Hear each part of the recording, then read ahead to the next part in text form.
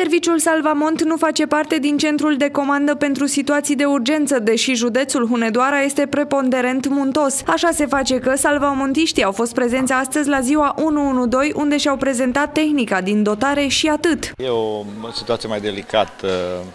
Vrem să fim prezenți aici în acest centru 112 și nu numai în acest centru, ci în toată țara, în centrele 112 unde sunt uh, formații și servicii salvamont.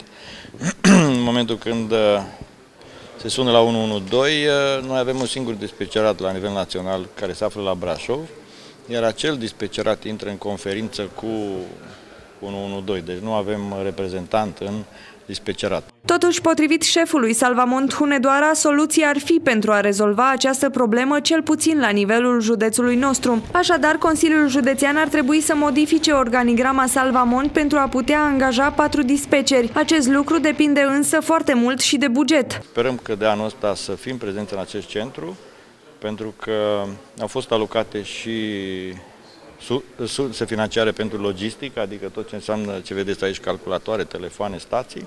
Sper că până la sfârșitul anului să reușim să fim prezenți în acest centru și să fim mai operativi, adică să tăiem din acel timp uh, mort, nu neapărat mort, din acel timp care se pierde informând dispeceratul nostru, iar dispeceratul nostru din Brașov să ne sune pe noi formațiile din uh, județul Hunedoara.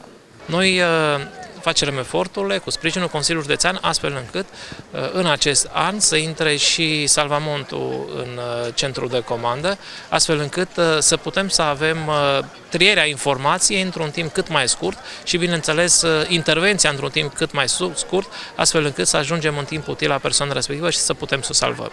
Media anuală de cazuri transportabile la care intervin salvamontiștii hunedoreni este de 450-500.